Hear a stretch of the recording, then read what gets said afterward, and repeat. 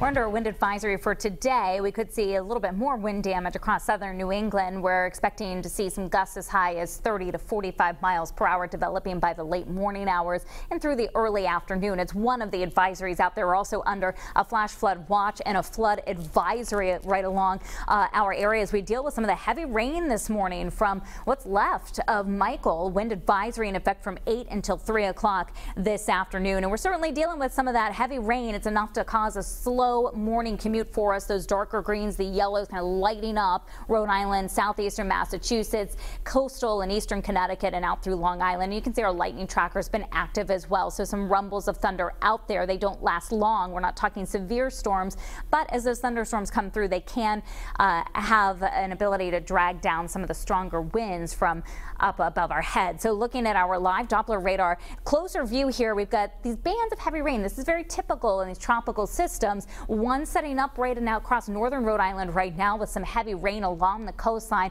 Already picking up an additional half an inch to an inch of rain just since midnight along our shoreline. And those rainfall totals make it as high as one to three inches here before this pulls away at the end of the morning. So Fall River and New Bedford, very slow commute for you. We had a, a thunderstorm over uh, Woods Hole earlier this morning, and we're seeing now no active lightning strikes. Let's take a look at the latest on Michael. As I mentioned, that transition from a tropical system to a post-tropical system has occurred. With it, the storm's actually expanding a little bit and getting a little more intense at 65 miles per hour for the sustained winds.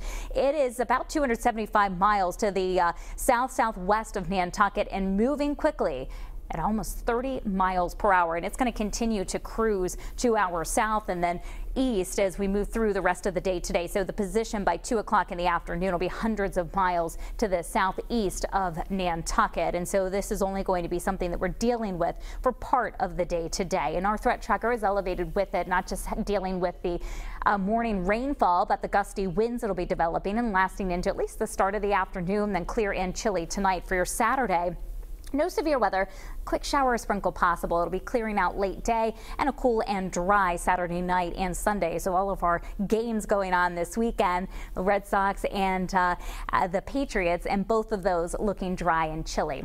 By 10 o'clock in the morning, I expect the rain to be out of Rhode Island, clearing out of southeastern Massachusetts. So next few hours, especially before 7 or 8 o'clock in Rhode Island and through 10 a.m. in southeastern Massachusetts, dealing with that moderate to heavy rain. 2 in the afternoon, back to sunny skies this evening and overnight tonight.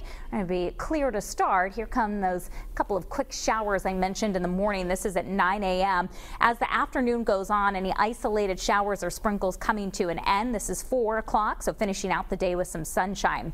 Let's talk winds out of the north right now, sustained around 16 miles per hour in Westerly and Block Island, and those winds will continue to increase. So a stormy morning commute, rain and thunder. Watch for street flooding and poor drainage flooding. We are seeing that occurring, and that's expected to continue. Low to mid 60s along the south coast this afternoon. We're back to sunshine in the second half of the day in Woonsocket. It'll be a brisk afternoon everywhere with those cooler temperatures. And speaking of cooler temperatures, we go from the 50s early this evening to the upper 40s by 11 o'clock. Seven day forecast. So Saturday is a cooler day, a little bit unsettled. Clouds, a shower around first part of the day, and then uh, clear and dry in the evening. Sunday, lots of sunshine and near 60.